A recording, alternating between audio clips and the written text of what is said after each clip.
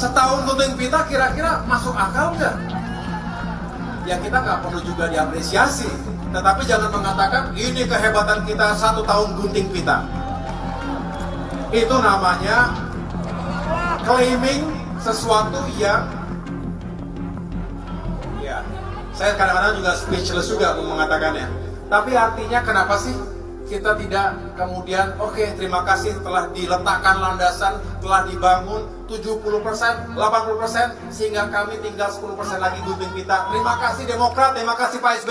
Why not seperti itu?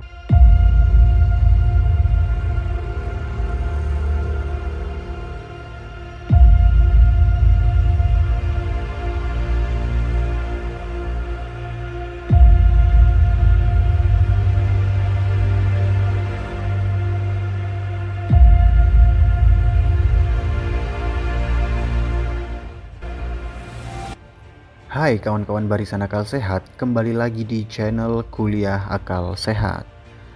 Ada kejadian menarik yang akhir-akhir ini ramai di publik, yakni saat akhirnya Mas Ahaye masuk dalam kabinet Pak Jokowi dan menjabat sebagai Menteri ATR atau BPN atau Menteri Agraria dan Tata Ruang Badan Pertanahan Nasional. Mas Ahaye dipanggil oleh Presiden Jokowi setelah beberapa hari pasca pemilu berlangsung guna untuk mengisi kekosongan jabatan menteri di kabinet Jokowi. Banyak spekulasi tentang hal ini beredar di publik. Mulai dari ini adalah langkah catur Jokowi untuk mengendalikan isu angket di DPR, sampai ini bagian dari upaya balas budi Jokowi terhadap Demokrat karena sudah bekerja di barisannya dalam pemilu 2024 kemarin. Lantas apa yang sebetulnya terjadi dan fenomena macam apa ini? Simak terus videonya. Sepertinya magnet berkuasa memanglah tidak mudah untuk ditolak oleh seseorang yang dulunya menjadi pengkritis pemerintah. Terlebih seseorang itu berasal dari organisasi politik seperti partai politik. Entah apa yang menyebabkan itu, tetapi asumsi kita, kepentingan partai dan diri sendiri jauh lebih utama ketimbang tetap lurus dalam oposisi ideologis. Yang mana gunanya untuk tetap menjadi kontrol pemerintah Wajar memang menjadi seorang oposan memang cukup membuat jauh dari sumber-sumber finansial dan wewenang. Itulah mungkin yang menyebabkan seseorang tidak lama berbetah-betah menjadi oposisi. Apakah hal ini wajar? Ya, tentu wajar jika kita berbicara ini dari sudut pandang kepentingan kelompok atau diri sendiri dibanding berbicara ini dari sudut pandang kenegarawanan, moral, dan etika dalam berpolitik. Secara politik, ini adalah pilihan yang paling menguntungkan untuk merapat dengan kekuasaan jika hanya yang dikorbankan adalah standing position moral dalam politik. Toh masyarakat kita sebetulnya tidak terlalu peduli amat dengan hal-hal semacam itu. Orang yang maju menjadi cawapres dengan melanggar etika saja tidak terlalu dipedulikan oleh masyarakat. Ini betul kan?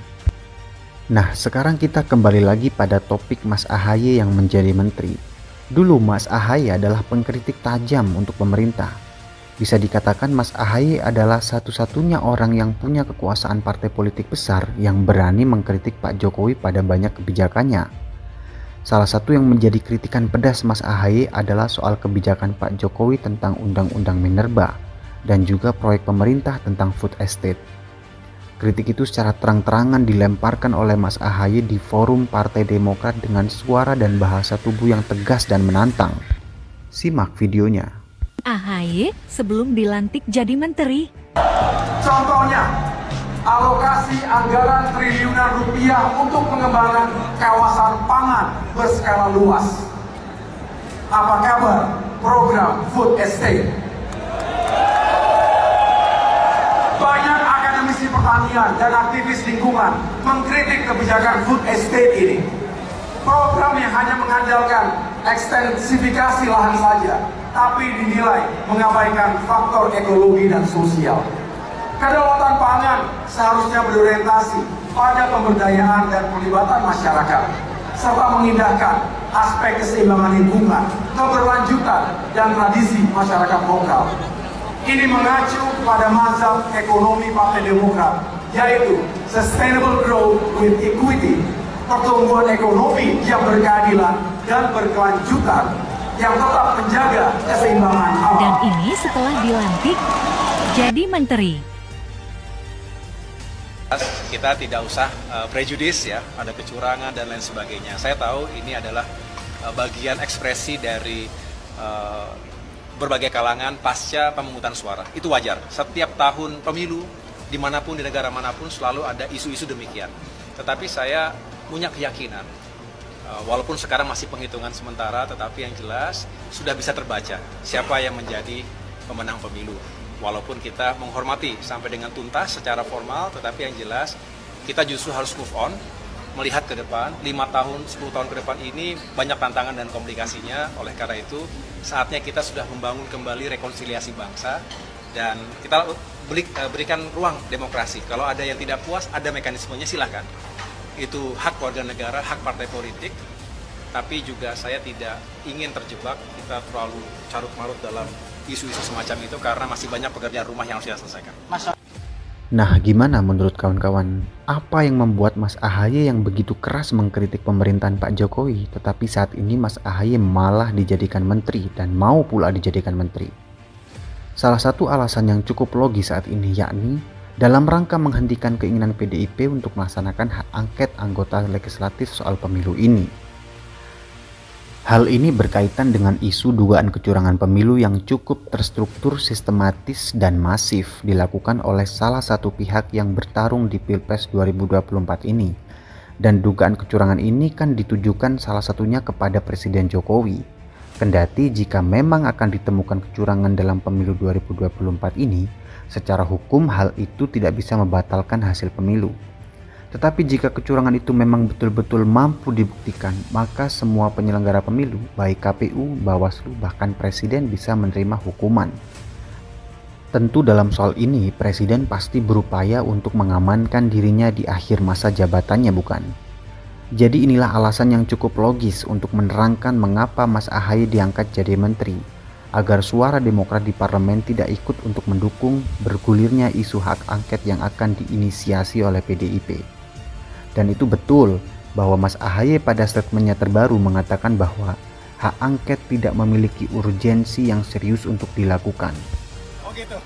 Melihat ada urgensi ke sana, bukan hanya karena Demokrat saat ini adalah bagian dari pemerintahan, tetapi juga uh, saya melihat bahwa walaupun sekali kita menghormati penghitungan masih berlangsung ya, bagaimanapun kita menunggu secara formal dan resmi oleh KPU tetapi bisa dilihat secara rasional juga hasil penghitungan sementara terkait dengan Pilpres ini sudah menempatkan pasangan 02 Prabowo Gibran sebagai uh, kandidat yang unggul dan jauh unggulnya marginnya besar. Jadi tidak bisa di uh, saya tidak melihat ada sesuatu yang sangat aneh di situ karena memang jaraknya jauh. Ya, tetapi saya juga sebagai seorang demokrat menghormati siapa pun di negeri kita, partai mana pun, tokoh mana pun yang ingin menggunakan hak konstitusional, silahkan. Lantas bagaimana kita menyikapi ini kawan-kawan? Menurut kami, meski fenomena inkonsistensi para elit politik ini sudah biasa dan logis dilakukan, kita sebagai masyarakat harus menyadari bahwa ini bukanlah hal yang bisa seenaknya dilakukan oleh para elit politik. Karena lagi-lagi yang menjadi korban kebijakan jika itu tidak beres adalah kita sebagai masyarakat dan warga negara.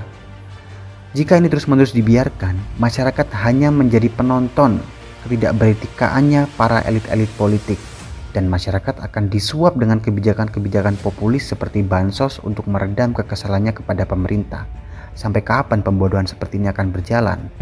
Kita sebagai masyarakat yang berakal sehat seharusnya menyuarakan ini sebagai pelanggaran etis dalam politik. Kita harus mengabarkan kepada publik bahwa publik harus mencatat baik-baik siapa-siapa dari para pejabat yang tidak konsisten dengan ucapannya, agar mereka kelak mendapatkan hukuman elektoral dari publik, agar republik ini pelan-pelan kesadarannya bertumbuh tentang politik terutama generasi-generasi baru Indonesia yang menjadi harapan bangsa untuk perubahan negara yang signifikan ke depan. Mari jadikan channel ini sebagai ruang kita bersama untuk bercakap-cakap terus tentang politik negeri ini, agar budaya sadar politik tetap terjaga di tiap-tiap generasi kita. Nah, itu saja untuk video kali ini kawan-kawan. Jangan lupa untuk dukung terus channel Kuliah Akal Sehat dengan cara like, share, dan subscribe. Terima kasih sekali lagi dan salam akal sehat.